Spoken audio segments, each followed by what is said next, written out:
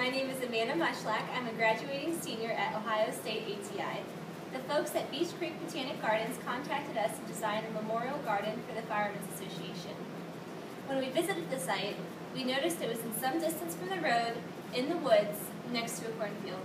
The Firemen's Association stated they wanted an inviting, respectful memorial to honor the firefighters. The site is located in a wooded area with many large trees. However, the trees are not appropriate for this memorial. My recommendation would be to clear cut the area to make room for new plantings. There are several small beech trees that could be dug and saved if you found that appropriate. I made the memorial visible from the road and inviting by having the size of the memorial mimic open arms. The simplicity of the plantings also shows respect. Folks will come here to look at the memorial and the garden provides a backdrop. I anticipate the memorial itself being constructed of dark granite. The back wall will be surrounded by two living walls with climbing vines, as shown here. The middle will be a bell tower, one that should be visible from a distance, which will be placed here.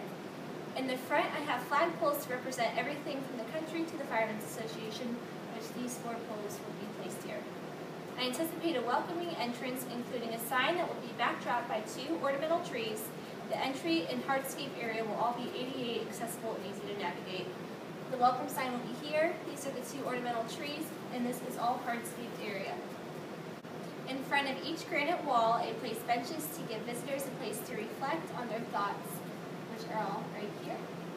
I place raised beds around the bell tower to provide more of a sense of the garden. These could also be used as additional seating as needed. These are placed right here. I included evergreen screens to provide a sense of enclosure and additional privacy for visitors. These screens right here, and here. I placed picnic tables behind the memorial area to give families a place to relax in a more informal way.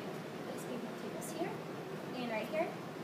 The water feature on one side will provide some background and relaxation and add the sense of tranquility. The three beech trees in the back serve as the backdrop and also bring the sense of the surrounding woods to the site. Right here. I selected a tricolor beech because they are a very prestigious tree and their color will also add to the design. It may be difficult to visualize the size of the site from this drawing. The site is actually 200 feet by 100 feet, which is much larger than what it appears. Within this large area, I have created a garden memorial that is relaxing and inviting, which anybody would be proud to visit.